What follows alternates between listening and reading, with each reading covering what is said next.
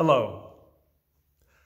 After Paul wrote about the glorious mercy of God, who has offered up the gift of salvation through the forgiveness of sins to everyone who will believe, he wrote these words.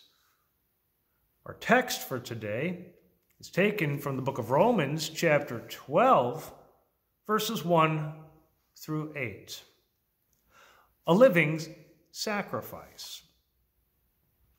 The apostle wrote, I appeal to you, therefore, brothers, by the mercies of God, to present your bodies as a living sacrifice, holy and acceptable to God, which is your spiritual worship. Do not be conformed to this world but be transformed by the renewal of your mind, that by testing you may discern what is the will of God, what is good and acceptable and perfect. Gifts of grace.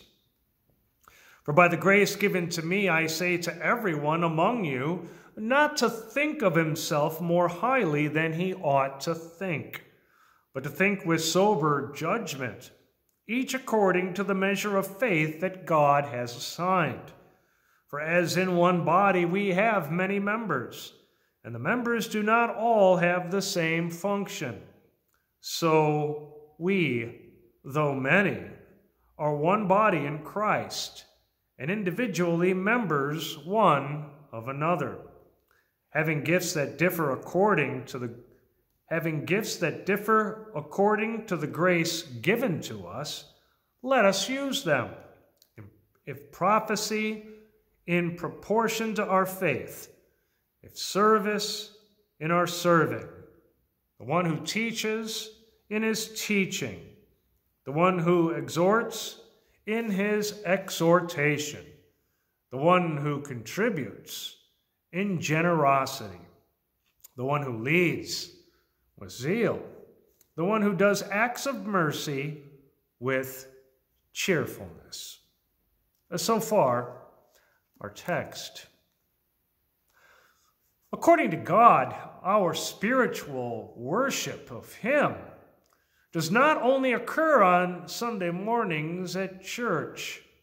No, but rather, our worship to God is extended to include every aspect of our daily lives.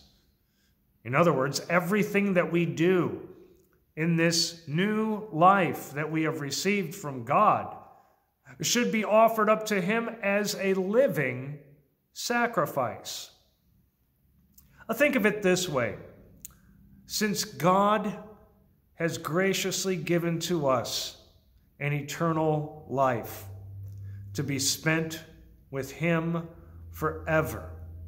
Then we should be willing to love and to serve Him with everything that we have and everything that He has given to us today.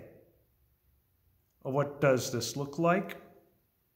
Well, our text continues with Romans chapter 12, verses 9 through 21. Marks of the true Christian. The apostle wrote, Let love be genuine. Abhor what is evil. Hold fast to what is good. Love one another with brotherly affection.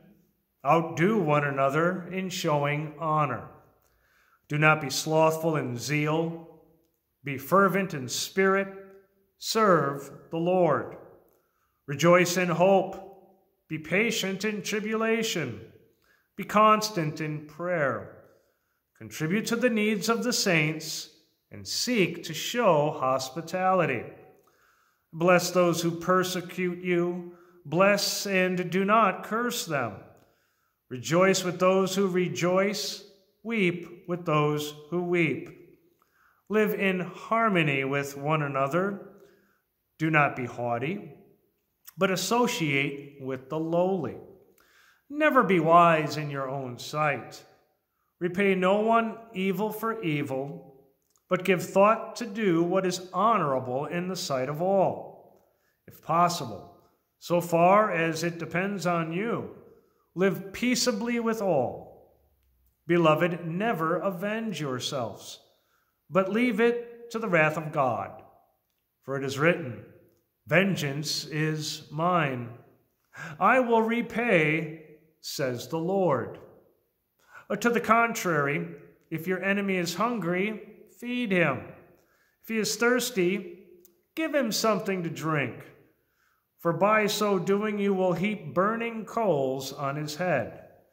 Do not be overcome by evil, but overcome evil with good. So far, our text.